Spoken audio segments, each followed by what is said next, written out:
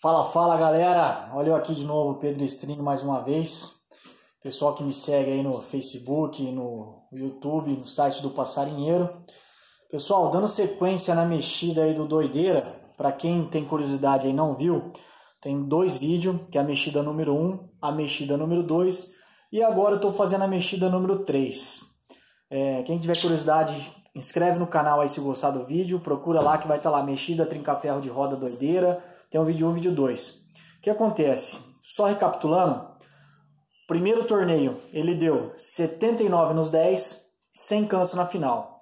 Eu observei algumas coisas que poderiam ser feitas na gaiola, modificação de puleiro e tal. Fiz a modificação. Na segunda vez, agora domingo passado, ele deu 88 nos 10, 128 na final. O que, que eu fiz de diferente? Vocês vão ver no vídeo lá. Tinha dois puleiros aqui embaixo, certo? Os comedores externos. Porém, ele é um passarinho que não é muito de ficar indo no fundo. Como a ração ficou embaixo, ele ficou mais no fundo. Só que o problema não foi esse. Como tinha o puleiro comprido aqui fora a fora, fora a fora aqui, igual esses de cima, ele ficou muito tempo aqui embaixo, então dava muito tempo dele pensar o que fazer. Então, mesmo assim, ele perdeu algum tempo dando grampo aqui no comedor externo. O que, que eu vou fazer para amanhã? O que, que eu já fiz aqui? Já alterei. Eu tirei os dois puleiros inteiros, que eram iguais esses aqui de cima, certo? Coloquei agora uma maritaca, tá vendo? Pequenininha apenas. Vou manter a ração embaixo e a água eu vou colocar em cima na, no rumo aqui do puleiro. Porque no bebedor de água aqui, eu vi que ele não dava o grampo, ele dava o grampo só na ração. E vamos ver, porque a maritaquine não vai ficar tão confortável, entendeu? E vamos ver o resultado, vocês vão me acompanhar. A mexida dele é a mesma, aqui já tratei dele, ó, manga, melão, pepino, ração extrusada, semente de alpiste misturada ali de insetos, entendeu? O trato tá bem feito. Agora eu vou para o banheiro para ele tomar banho. Não vou mexer com ele hoje.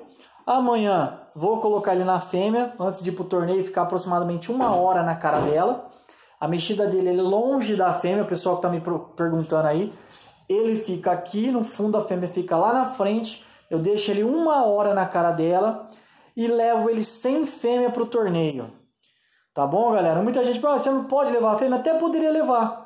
Só que eu estou fazendo uma mexida que fica mais fácil para mim, quantidade de gaiola. Se eu conseguir adaptar ele nessa mexida, maravilha, entendeu? E lembrando, volto a repetir, nem sempre a mexida que eu uso vai ser a mesma mexida para o colega.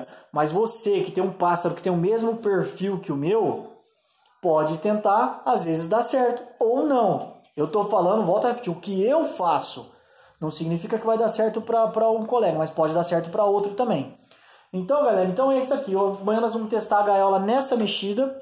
Eu não mexi na mexida dele com a fêmea, porque muitas vezes acho que o pastel às vezes foi mal, acha que é questão da fêmea. Às vezes não é isso, galera. Às vezes é um detalhe assim, ó, igual aqui da gaiola. Eu mudei a segunda mexida puleração e já aumentou quase 30 cantos na final. E nos 10 também ele melhorou. E vamos ver amanhã se vai melhorar também. Olha ele cantando aí. Então vamos dar sequência no vídeo. Acompanha aí de novo a hora que eu colocar ele na estaca, a hora da marcação e eu volto falando do resultado. Vamos lá, segue o vídeo, galera. Fala, galera. Dando sequência no vídeo aí, ó. Agora de manhã. Já tá dando o horário aqui dele ficar na fêmea, de aproximadamente uma hora na fêmea, ali aqui, a fêmea aqui, certo? É, pra quem tá me perguntando é a dúvida, tá aqui, ó. A fêmea dele tá aqui, doideira. Não, eu não levo ela. Eu levo só ele pro torneio. Eu deixo aqui, o torneio é uns 10 minutos de casa no máximo. É próximo. Então eu levo só ele, não levo ela. E vamos agora ver o resultado lá na roda, na gaiola, na poleiração nova. E vamos acompanhar aí, galera. Valeu!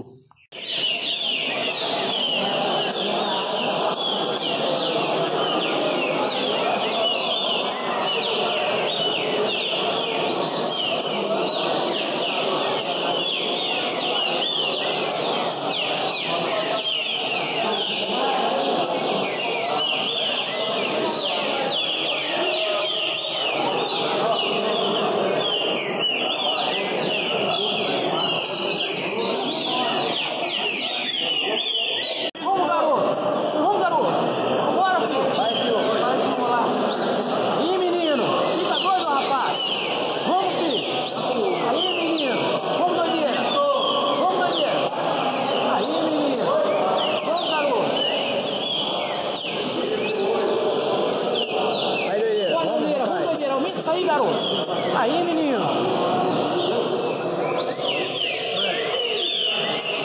Bora, bandeira. Aí, menino. Bora, rapaz. Vamos, garoto. Vamos buscar, garoto. Vamos buscar, bandeira. Vamos. Bora, bandeira. Bora, bandeira. Vamos. Vamos, mesmo. Fala, fala, galera. Hoje achei a mexida exata do Doideira. Posso falar com certeza isso. Doideira hoje classificou em terceiro colocado com 147 cantos, pessoal. É, o que, que eu fiz diferente foi a poleração, a quantidade de fêmea foi a mesma. Foi um show, um show. Deu super certo. E a mexida agora é essa, do Doideira. Não tem mais o que fazer, não tem mais o que mexer. Acertei, estou muito contente com o resultado, muito feliz. É, espero que essa mexida aí que eu fiz aí sirva de exemplo para os colegas aí que precisam de algum auxílio, né? Se tem um passarinho no mesmo perfil. E aquela coisa que eu volto a dizer, paciência, persistência, dedicação, galera. Vai, se dedica no teu pássaro, investe, porque o resultado uma hora vem. Cedo ou tarde você alcança o objetivo. Tem que insistir. Estou muito contente mesmo. Agora é manter a mexida e sucesso. Beleza? Logo, logo eu tô com os vídeos de coleiro também esperando esquentar o tempo aqui. Se Deus quiser, nós vamos ter a mexida de coleiro também, galera. Mas é isso aí. Valeu, obrigado a todo mundo aí que me segue, pelo carinho que tem comigo, pelo respeito.